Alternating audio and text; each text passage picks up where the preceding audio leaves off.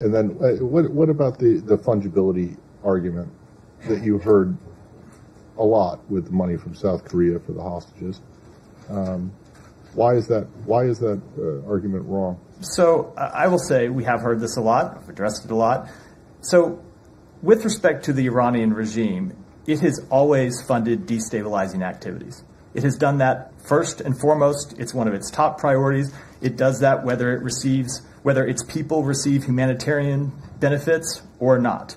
Uh, to the extent that the Iranian people have greater access to food or medicine as a result of money convey, covered by this waiver, that's food or medicine that otherwise would not have been available to them. And I would say, again, this is a policy that goes back to the previous administration. The previous administration apparently decided that it was worthwhile to have this money uh, uh, spent for the benefit of the Iranian people, with whom we have no quarrel. Our quarrel is with the Iranian regime and its destabilizing activities.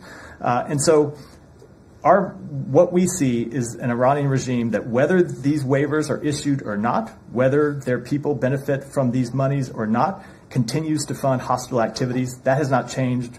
Uh, it's not changed going back years.